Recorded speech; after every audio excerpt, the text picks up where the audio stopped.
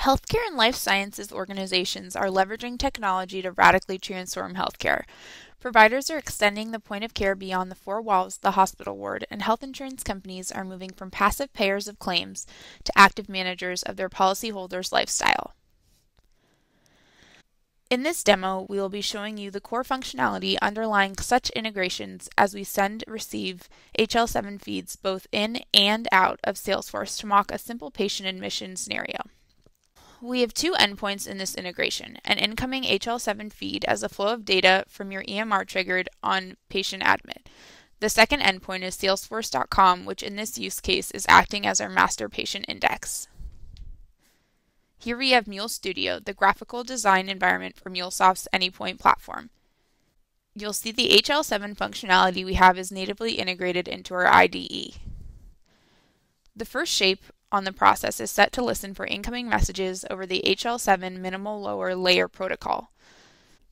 We are also able to send and receive HL7 messages via any other protocols that the AnyPoint platform supports out of the box, such as HTTP.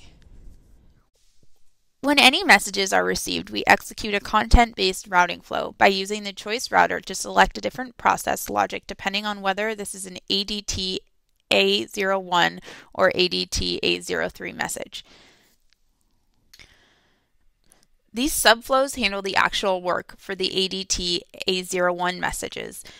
We upsert the patient information contained in the PID segment and then upsert a patient visit into the patient visit object with the admission date. Using our data mapper, we are able to visually map the HL7 message to a Salesforce object. You can see that by dragging and dropping fields from the left hand to the right hand side here, we can map data values between these different message formats. We also have the option to use Data Mapper's HL7 library to normalize and transform that information in real time. Since every HL7 message requires an acknowledgement to be sent to the source system, we decide at the next choice router whether to send back a success or failure acknowledgement. This acknowledgement message is automatically generated through the ACK message component.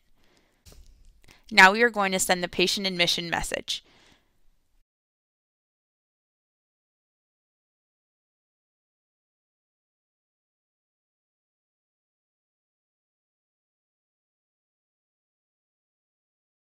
As you can see, this is the patient that we just admitted and the visit information is recorded in the related list below and here is the patient visit information. To discharge the patient, we can simply send the patient discharge message in the same manner as before.